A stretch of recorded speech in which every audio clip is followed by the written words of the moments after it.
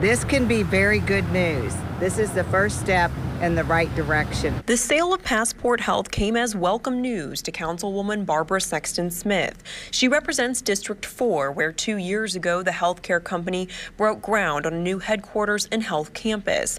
But the project at 18th and Broadway was put on hold when the future of Passport's Medicaid contracts with Kentucky was put in doubt. The last thing in the world we need is one more disappointment for the folks that live in and around West Louisville.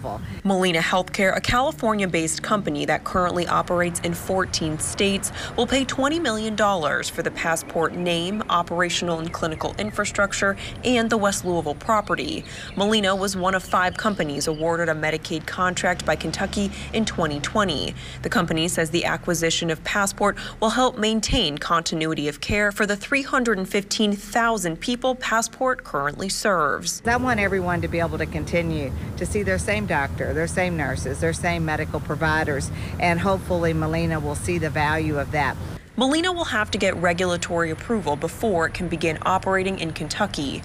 Sexton Smith says the company does intend to build a headquarters in West Louisville and will allow current passport employees to keep their jobs. She's also hopeful the deal will create new jobs in her district. When you have good paying jobs, good health care, you're going to ultimately have better housing, safer neighborhoods, and that's really what we all want. That's really what this is all about. Denny Camper, WLKY News. Thank you, Denny. Mayor Greg Fisher responded to news of the sale earlier today, saying in a statement, I'm excited to see this smooth transition for the Passport Health Plan members and employees, many of whom are fellow Louisvillians, and I'm thrilled at the prospect of seeing the project at 18th and Broadway proceed.